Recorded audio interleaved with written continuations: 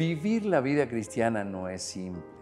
Primero, porque el infierno todo el tiempo está buscando tentarnos. No nos puede tocar porque estamos protegidos por Dios. Y entonces lo que hace es acercarnos las tentaciones y mostrarnos para que nosotros alarguemos la mano y toquemos lo que no debemos tocar o pensemos en lo que no debemos pensar. Entonces, eso es una lucha.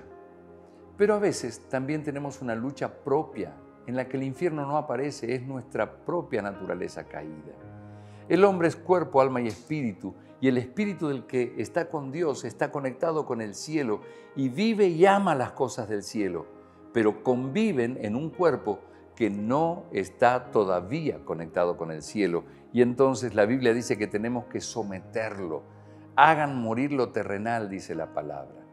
Porque entonces todo el tiempo esa lucha está allí y necesitamos pelear y vencer para mantener la bendición que tenemos hoy o la que vas a alcanzar. Hay alturas y estaturas de nuestro estado espiritual que tienen que ver con cómo yo estoy peleando esa batalla contra mi naturaleza que siempre tiende al pecado. El día que vayamos a su presencia, ese día nuestro cuerpo es redimido y ya no vamos a tener más ese tipo de tentaciones. Pero mientras estamos acá, tenemos que saber que no podemos deslizarnos y perder la altura de fe que Dios nos entregó. Es como un ave que tiene capacidad de volar y también tiene capacidad de planeo pero si se queda demasiado tiempo planeando, va a perder altura y puede estrellarse contra el piso o va a tener que bajar a tierra. El tema es que em, nosotros podemos pasar tal vez dos días sin orar o sin leer la palabra, pero nuestra em, naturaleza nos va tironeando hacia abajo. Es como que necesitamos resolver el efecto de la gravedad. Así como el pájaro tiene que resolver la gravedad y aletear y esforzarse para mantenerse arriba, así nosotros tenemos que vencer la gravedad que tiene que ver con nuestra naturaleza que siempre tira hacia abajo.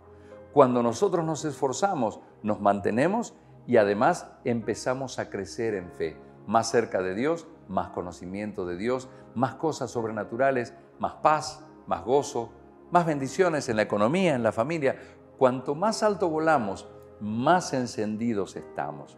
Entonces, les animo a que venzamos el efecto gravedad de nuestra naturaleza y logremos una conquista extraordinaria volando hacia la presencia de Dios. Todos los días mantené tu llama encendida, como enseñé hace algunos, días.